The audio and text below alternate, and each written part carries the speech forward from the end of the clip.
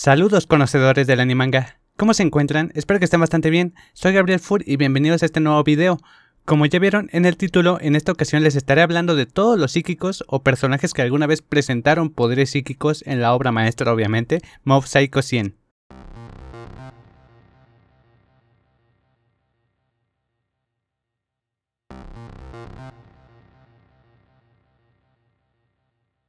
Por lo general, casi ninguna persona es psíquica natural, pero una vez que despiertan sus poderes psíquicos de forma natural, suelen ser bastante poderosos. La mayoría de los espers o psíquicos tienen la habilidad de utilizar la psicoquinesis, es decir, pueden manipular las cosas con la mente. Casi ningún esper puede utilizar más de una habilidad a la vez, por ejemplo, no pueden atacar y protegerse al mismo tiempo, pero con el suficiente entrenamiento o el suficiente poder pueden llegar a ser capaces de hacerlo.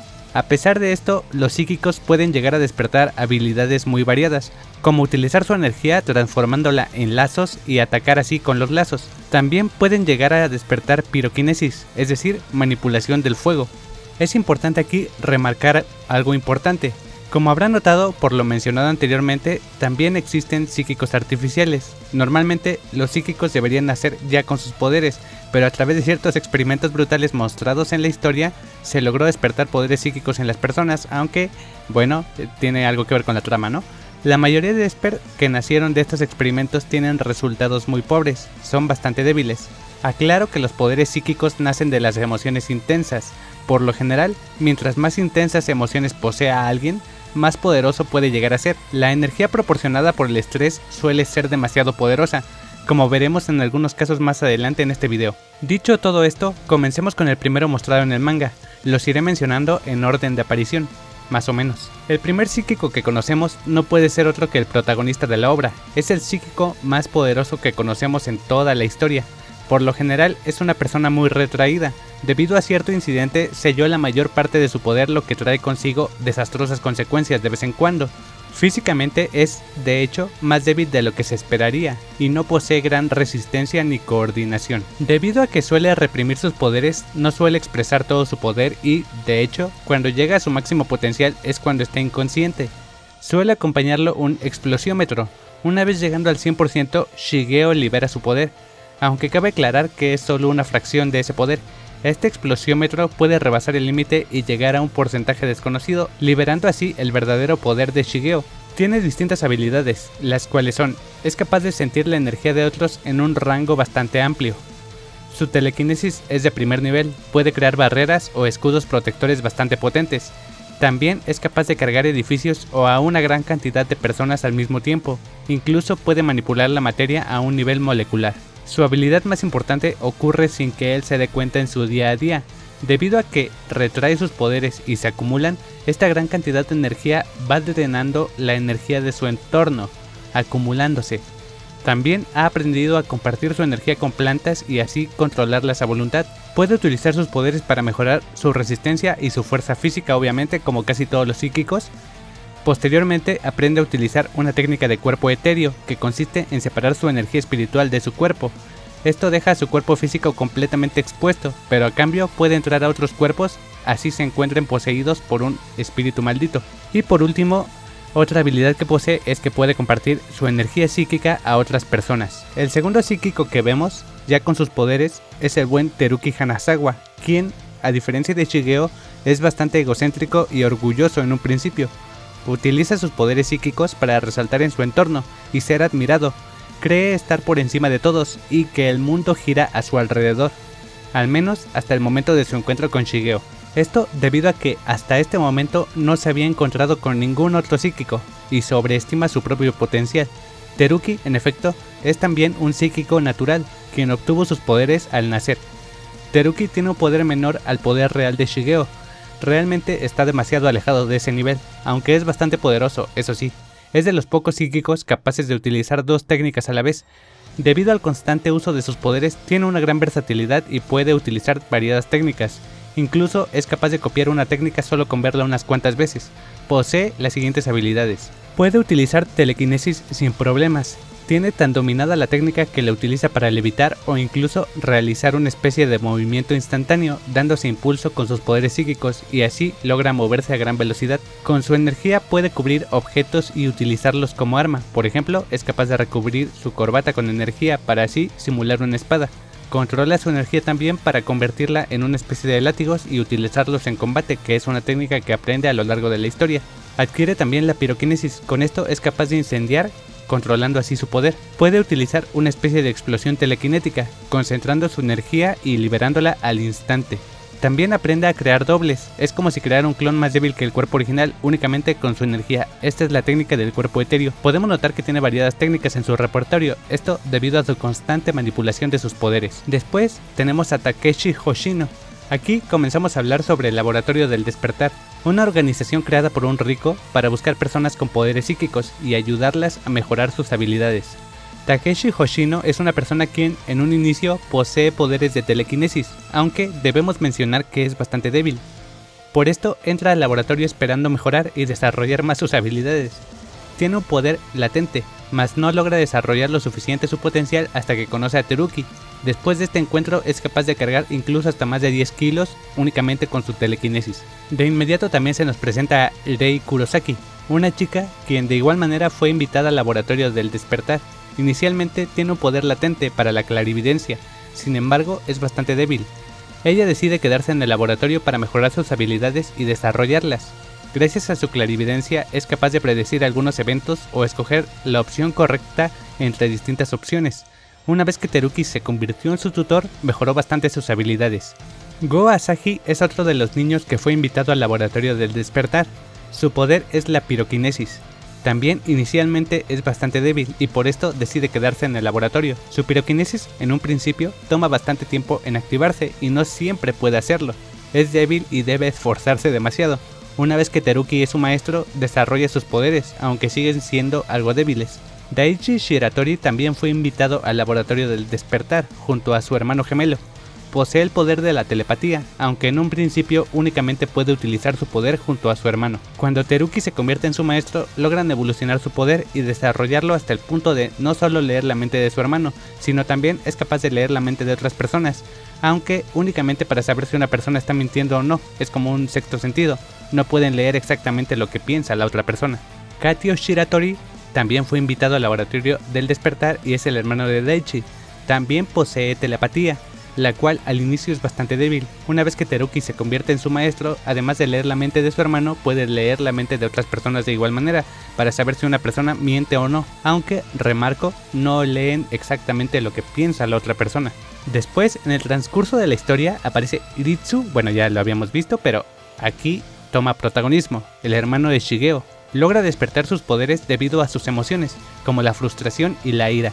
Desde siempre, Iritsu es bueno en todo lo que hace. Es bueno en los deportes, es bueno en los estudios, incluso llegando a ser uno de los mejores del país.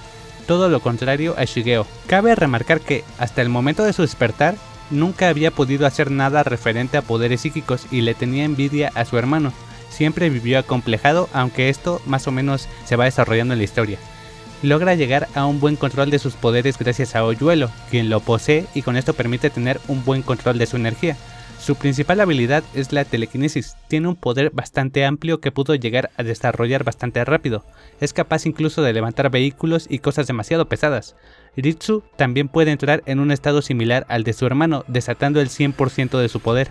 Ahora comenzamos con otro tipo de psíquicos, esto surge debido a una organización llamada Garras, que con sus experimentos ha logrado despertar poderes psíquicos artificialmente en las personas, aunque remarco que esto se desarrolla después en la historia, ¿eh? Esto también tiene como consecuencia que no sean tan poderosos como los psíquicos puros o naturales. Primero hablemos de Megumu Koyama. Es el primer miembro de la organización Garras que conocemos. Se centra principalmente en el combate cuerpo a cuerpo, utilizando así sus poderes para fortalecerse. Principalmente utiliza la telequinesis. Combina esto con su capacidad de manipular la energía y así surgen sus técnicas especiales. Koyama utiliza una especie de taladro en sus extremidades, controlando su energía. Con esto es capaz de perforar barreras psíquicas. También utiliza esto para dar fuertes puñetazos al oponente. Después tenemos otro psíquico de garras, su nombre es Terada. Se menciona que tiene bastante habilidad con sus poderes, principalmente utiliza su energía para darle una forma de látigos. Estos látigos son utilizados para atacar ya que son bastante fuertes y duraderos. Esta técnica es llamada látigos de aire y posteriormente Teruki comenzaría a utilizarla. El siguiente psíquico de igual manera es miembro de garras, su nombre es Muraki, él es bastante poderoso, incluso fue capaz de abrumar a Aritsu, su habilidad principal consiste en formar clones etéreos, los cuales utiliza tanto para investigación como para el combate. Estos clones son más débiles que el cuerpo original y pueden ser esfumados por alguien con un poder promedio. Esta habilidad posteriormente la comenzaría a utilizar Teruki. Otro psíquico miembro de garras es Takeuchi. Es alguien poderoso, incluso reconocido en otras divisiones de garras. Es capaz de utilizar la telequinesis sin problema, puede mover vehículos sin mucho esfuerzo y hacerlos flotar. Su técnica especial es llamada Super Kigong. Consiste en emitir su energía psíquica fuera de su cuerpo. Esto le permite lanzar rayos de energía psíquica bastante potentes a sus contrincantes. Al seguir desarrollando esta habilidad, es capaz de realizar una lluvia de rayos de energía que atacan simultáneamente. Miyagawa también es miembro de Garras. No se menciona que sea especialmente poderoso. Es capaz de manipular su energía psíquica para realizar la piroquinesis, las llamas que crea son potentes e incluso su calor atraviesa las barreras psíquicas. Esto ocasiona que sus oponentes se comiencen a sofocar. Tsuchiya también es miembro de Garras, se especializa en combate cuerpo a cuerpo y es una de las mejores combatientes de la organización. Su técnica consiste en endurecer sus extremidades. Con esto y su estilo de artes marciales puede realizar ataques psíquicos poderosos. Es llamada Kigong de acero. También puede realizar una técnica especial que consiste en dos golpes consecutivos. El primero lo utiliza para dejar paralizado a su oponente y el segundo es bastante destructivo. El líder de la séptima división de garras es Ishiguro. Es alguien poderoso que incluso fue capaz de detener a Mob un momento. Utiliza su poder psíquico para manipular la gravedad, utiliza esto para aplastar a sus contrincantes. Con esta habilidad puede crear agujeros negros miniatura.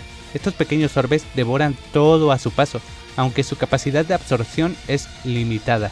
También puede aumentar su propia gravedad para así aumentar su peso y realizar un ataque directo al oponente con su propio cuerpo. Muto es otro psíquico de garras, no está especializado en combate, se centra más en la tortura e interrogar. Su habilidad son las ilusiones, es capaz de inducir ilusiones extremadamente realistas para poder someter la voluntad de los demás. Normalmente lo utiliza para mantener quietos a los prisioneros, pero también puede utilizarlo para mostrar cosas desagradables a su contrincante. Es una forma de atacar.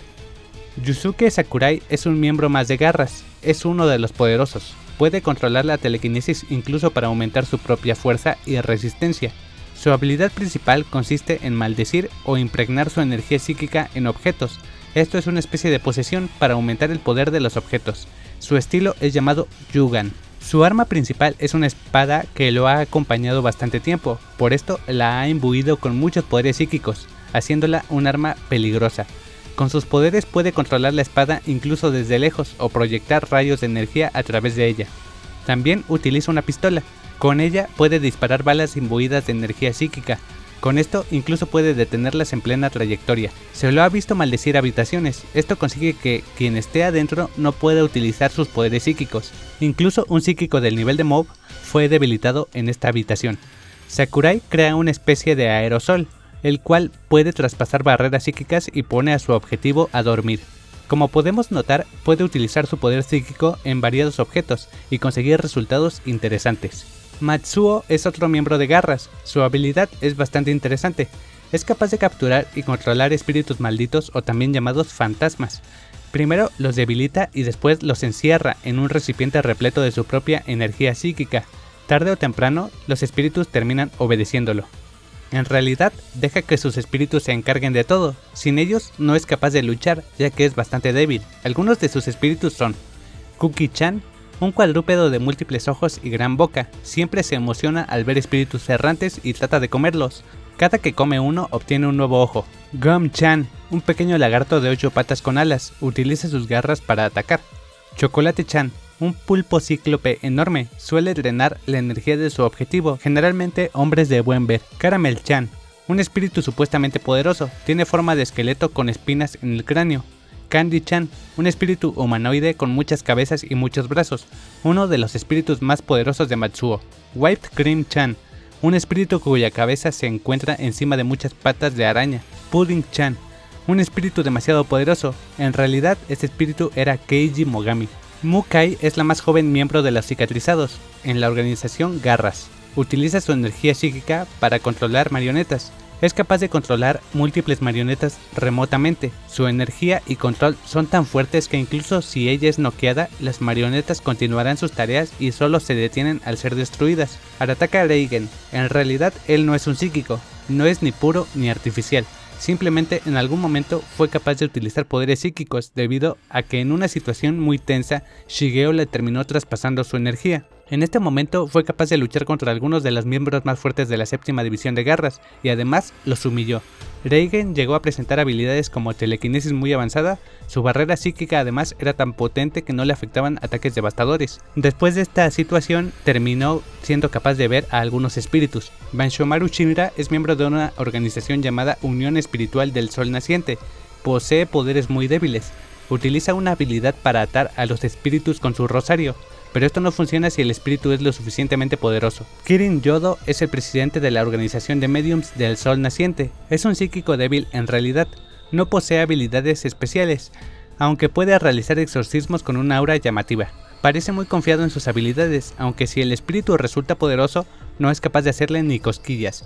Puede debilitar espíritus de algunos lugares, pero no es tan poderoso como para expulsarlos o exorcizarlos casi siempre va acompañado de ayudantes, quienes le tienen un profundo respeto. Y ahora aparece Keiji Mogami. Es un espíritu maligno quien en realidad fue en vida uno de los psíquicos más poderosos que aparecen en la obra. Incluso era conocido como el más grande psíquico del siglo XX. Es uno de los más poderosos personajes de la historia, tanto que incluso rivaliza con Shigeo. En algún punto, Shigeo menciona que Mogami era más fuerte que él, Mogami, después de presenciar el poder de Shigeo, aclama ser más poderoso. Aclaro que estos comentarios se dicen antes de que Shigeo despierte su verdadero potencial. Posee técnicas muy interesantes, puede utilizar una técnica de posesión, es tan hábil que llega tan al fondo del cuerpo que incluso psíquicos como Shigeo no lo pueden llegar a tocar. Es muy bueno en combate cuerpo a cuerpo. Es bastante curioso que, en vida, Mogami nunca mostró telequinesis, pero al convertirse en espíritu maldito fue capaz de mostrar una habilidad similar. Mogami fue capaz de crear un mundo dentro de la muerte del cuerpo que poseía. Dentro de este mundo todo se encuentra bajo su control, incluso los poderes psíquicos de quien haya encerrado dentro. También muestra una habilidad para controlar a los espíritus malditos que ha absorbido, similar a Matsuo. Notemos que puede absorber la energía espiritual, similar al modo automático de absorción de Shigeo. Otro poder que ha mostrado es la capacidad para absorber la energía vital de quien lo rodea, una habilidad demasiado rota si me permiten mencionarlo. Además, ha aprendido a tener control sobre las plantas. Para terminar como dato adicional, simplemente menciono que él fue el psíquico que exorcizó a Oyuelo cuando estaba en su mejor momento. Hay dos psíquicos cuyo nombre no es mencionado que pertenecen a garras, uno de ellos es capaz de utilizar su energía para crear electricidad y atacar, el otro incrementa su fuerza física y saca el máximo partido a sus músculos. Otro más hace aparición en casa de Teruki con la capacidad de crear explosiones con la telequinesis. Posteriormente Teruki comenzaría a utilizar esta técnica. Hay muchos psíquicos en garras, puesto que de eso va la organización, pero solo mencionaré los más importantes como ya habrán notado. Sakakibara es el líder de la quinta división de garras, no se sabe nada de sus habilidades, pero al ser el líder de división es al menos tan fuerte como Ishiguro. Furutachi es el líder de la segunda división de garras, tampoco se sabe nada de sus habilidades, de igual manera debe ser tan fuerte como los otros líderes. Igarashi es el líder de la sexta división de garras, no se sabe nada de sus habilidades aunque está al nivel de los líderes. Ebiwara, o también llamado Ebihara, es el líder de la tercera división de garras. No tenemos conocimiento de sus habilidades, pero está al nivel de los demás líderes. Yanagawa es el líder de la cuarta división de garras, tampoco se sabe nada de sus habilidades, de igual manera debe ser tan fuerte como los otros líderes. Tamaki es el líder de la primera división de garras, no se nos muestra nada de sus habilidades, pero debe ser tan fuerte como los demás líderes. Ahora sí, iniciamos con lo bueno de garras. En la organización hay un grupo especial llamado los Super 5 o Ultimate 5. Son los psíquicos más poderosos de la organización y comenzamos con Nozomu Hattori. Su principal habilidad es algo llamado Tecnokinesis, aunque no es muy útil en combate. Con esto puede controlar señales y equipos electrónicos, le sirve para hackear señales de televisión en múltiples canales a la vez, puede controlar helicópteros y otros vehículos, Normalmente para la batalla suele controlar múltiples drones a la vez. Hiroshi Shibata es otro miembro de los Super 5. Es bastante poderoso y puede derrotar a otros psíquicos que comparten su habilidad. Puede utilizar una técnica llamada esteroides psíquicos. Con esto consigue aumentar su fuerza muscular y así sobresalir bastante en combate cuerpo a cuerpo. Toshiki Minegishi es otro miembro de los Super 5, es de los más poderosos de toda la obra. Resalta mucho por el enorme control que tiene con su habilidad. Con su energía psíquica es capaz de controlar y manipular a las plantas, puede fabricarlas y hacerlas crecer. Esto puede ser útil para atacar y para defender, aunque si un psíquico más poderoso le roba el control de las plantas, se vuelve completamente inútil. Ryo Shimasaki es también miembro de los Super 5. Es bastante poderoso, pero su valor radica en su versatilidad. Es interesante debido a que es uno de los muy contados psíquicos que puede llegar a utilizar dos técnicas a la vez. También es un experto en telequinesis. Puede realizar una especie de teletransportación. Esto lo realiza moviéndose a través del espacio a una gran velocidad en un parpadeo. También puede teletransportar objetos junto con él, incluso personas. Es capaz de predecir movimientos y tiene una percepción extraordinaria. Debido a su falta de vista, nació con estas habilidades. Puede sentir múltiples objetos a la vez y también puede predecir trayectorias, aunque esto flaquea cuando se desconcentra. Una vez que pone toda su concentración en su percepción, puede llegar a sentir únicamente en lo que se enfoque en un amplio rango, por ejemplo, los puntos vitales de múltiples oponentes. Debido a la enorme concentración, deja de lado todo lo demás, volviéndose bastante vulnerable a un ataque sorpresa. Katsuya Serizawa es el miembro más fuerte de los Super 5, también es de los más poderosos siendo capaz de mantener a raya un poco a Shigeo. Utiliza la telequinesis, aunque suele impregnar su energía en la sombrilla que siempre porta. Esta sombrilla la utiliza para ataque y para defensa. También puede llegar a lanzar energía psíquica después de cargarla en su sombrilla. Por lo general utiliza su sombrilla para poder canalizar su inmenso poder, pero posteriormente esto ya no es requerido, aunque lo veremos utilizándolo de igual manera.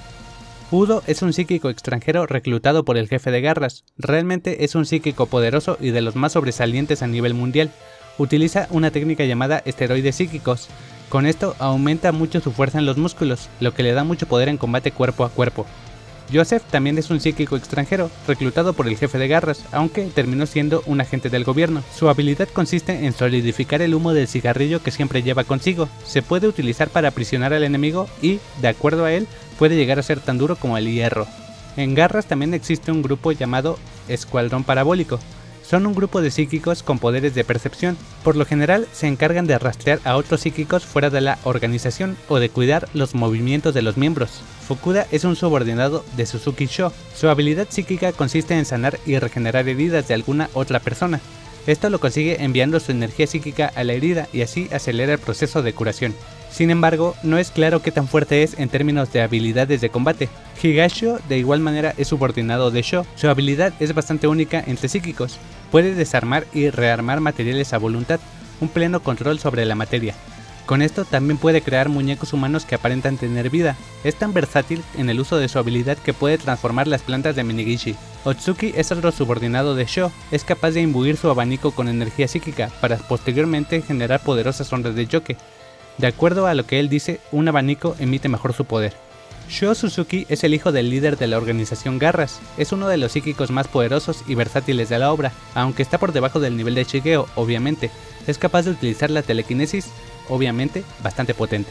Tiene una habilidad para distorsionar la luz, esto le permite volverse invisible debido a que modifica la luz que proyecta. Puede cargar energía durante largos periodos de tiempo, es como si fuera una batería sin un límite claro va acumulando la energía psíquica para después expulsarla toda de un solo golpe, una bomba de energía prácticamente.